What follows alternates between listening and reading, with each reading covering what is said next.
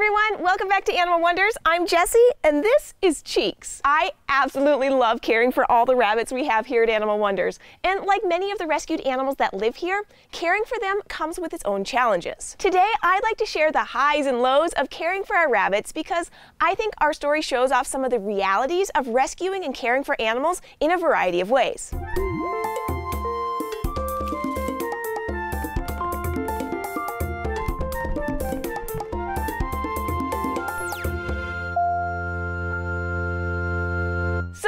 We've taken in some amazing rabbits over the years.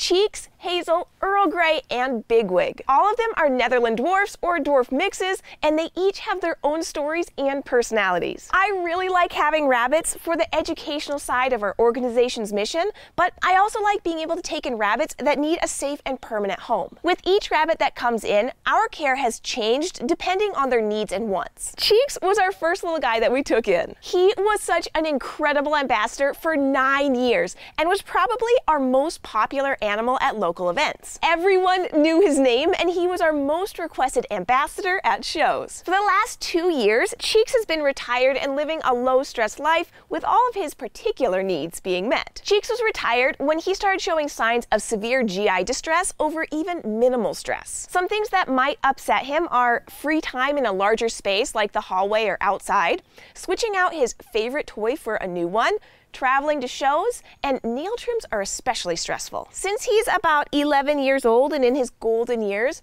we've made the choice to just give him what makes him the most comfortable. Even if that means he keeps his raggedy old hedgehog toy and stays in a small enclosure because it's what he wants. He still gets lots of attention every day, and he clearly loves it because he comes running to the front of the enclosure for pets and gives lots of licks in return. So as we made the choice to move Cheeks into retirement, we still wanted to educate about rabbits. So when we got the call to take in Hazel a couple of years ago, we said yes. Hazel has such a sweet and gentle personality, and that makes him just the best ambassador because he's so relaxed about traveling and excited audiences. But we wanted to make sure that Hazel was introduced to another rabbit as soon as possible so that he would have a companion for life. We did try introducing Cheeks and Hazel, and it was not a good fit. So when a family asked if we had room for their pet rabbit, we hoped it would work out much better. We welcomed Earl Grey into Animal Wonders and set a vet appointment appointment for Hazel to get neutered to give them the best chance at becoming friends. The two took a bit to get to know each other, but once they formed a bond, they were just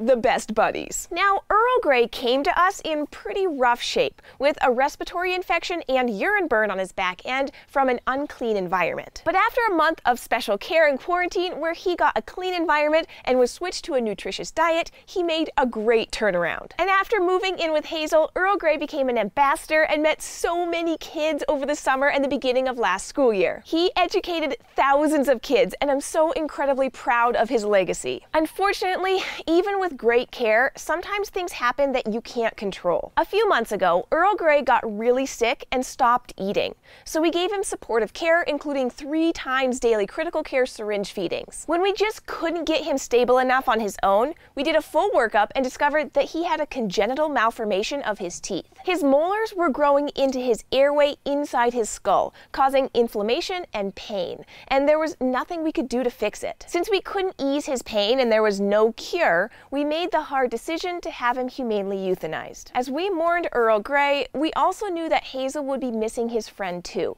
so we started looking out for another rabbit that might be a good companion. This came right around the start of the pandemic, so everything got way more challenging. But surprisingly, about two months ago, one of our employees who had been working remotely, said her friend was looking to rehome her rabbit. He was an unneutered three year old male who was friendly but not well handled, and he had never had a companion before. She sent us a picture with the description, and we couldn't help but notice that he looked really similar to Earl Grey. As it is with rescuing displaced animals, even when something sounds like it will work out perfectly, it usually ends up being really complicated. But I was hopeful that it would work out, and I wanted to give him a chance. So we took in this big boy, who is going through a shed right now. We got Bigwig all set up to go through his quarantine period. He was given a full exam by our vet, neutered, and transitioned to a nutritious diet of hay, pellets, and a variety of fresh produce. After his quarantine was complete and he was deemed healthy, we started the introduction to Hazel. And it went so well, surprisingly well.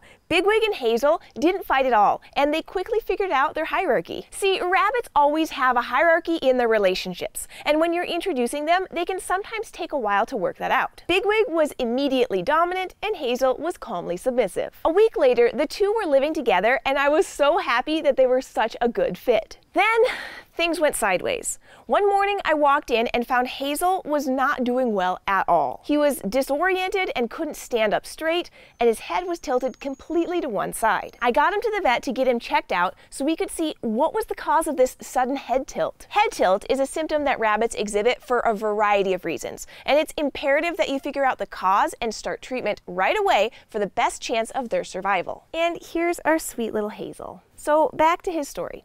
We ran some tests including an ear exam, palpation of his neck and spine, and sending a blood test to the lab. There was no sign of an ear infection or an injury to his vertebrae, so our vet could temporarily rule those out and focus on the most likely cause, which is a parasite called Encephalitozoon cuniculi. So we started him on an anti-parasitic medication and waited for the results from the blood test. If he had the parasite, then we did the right thing by starting treatment right away. And if the test came back negative, then the medication would wouldn't harm him and we could explore other causes. A few days later, the lab reported their findings and we got a diagnosis that his head tilt had a 93% chance of being caused by E. cuniculi. The parasite E. cuniculi is not uncommon in rabbits and it can cause neurological damage resulting in the dramatic head tilt, cataracts, and or kidney failure. Diagnosing Hazel with the parasite meant that we were on the right track for his treatment, but it's not as simple as just giving him the medication, and it's not a quick fix. Hazel will need the anti-parasitic medication once a day for 30 days,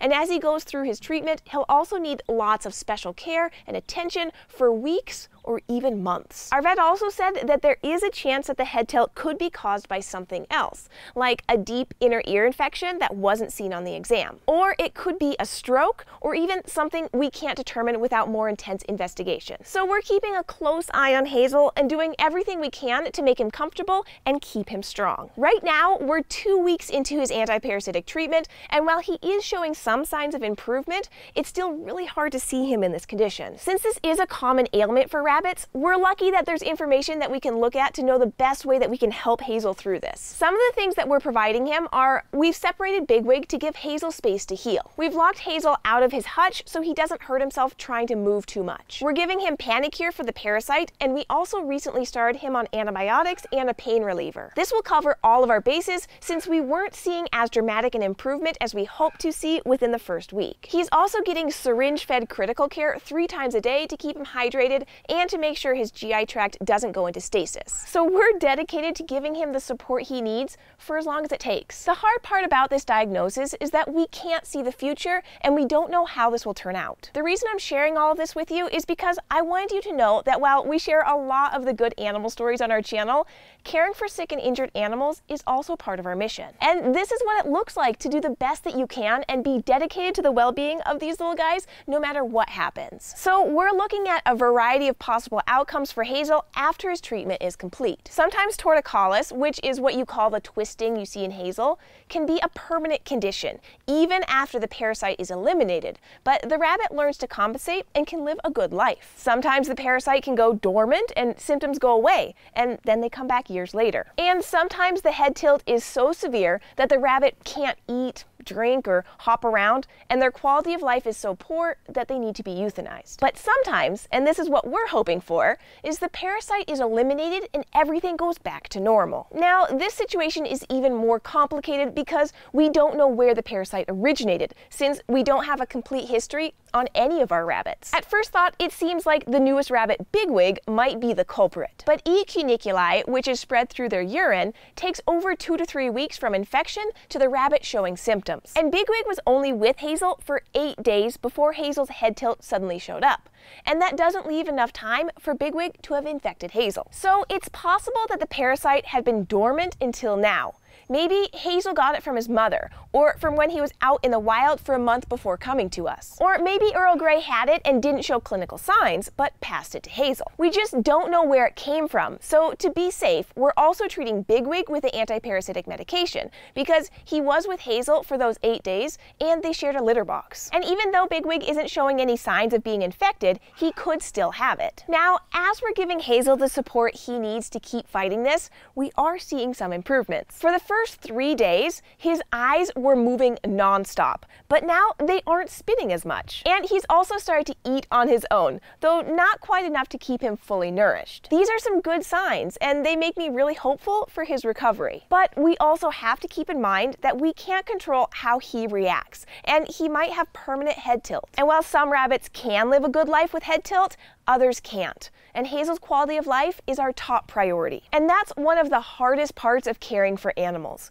We can't always control what happens. And sometimes we can do everything possible to help an animal live their best life, and it's still not enough. It hurts me to see Hazel struggling, and I know it might be hard for you to see it too, but I wanted to share what we're going through because these challenges are a part of caring for animals. And also, if you're going through this struggle too, I'm hoping this will help you know that you're not alone alone. I want to remember and highlight that our focus is to rescue displaced animals and give them a good home where we can share their awesomeness with others. And we've done that for four amazing rabbits who all deserve to be loved and cared for to the best of our ability. Caring for rabbits comes with so many perks because they're just these adorable but powerful bundles of personality. My hope is that we can help Hazel through this, and even if he has a permanent head tilt, he'll be able to eat and get around just fine. And then Bigwig can rejoin him as his support buddy. Rabbits are really fascinating animals from a biological aspect, but also as individuals. Please give Hazel some extra good thoughts, and if you've been through something similar and you'd like to share, please leave your story in the comments so we can all learn and support each other. Thank you for letting me share our story, and I'll keep you updated on Hazel's recovery as things progress. And I will see you next week with some more animal adventures. Bye.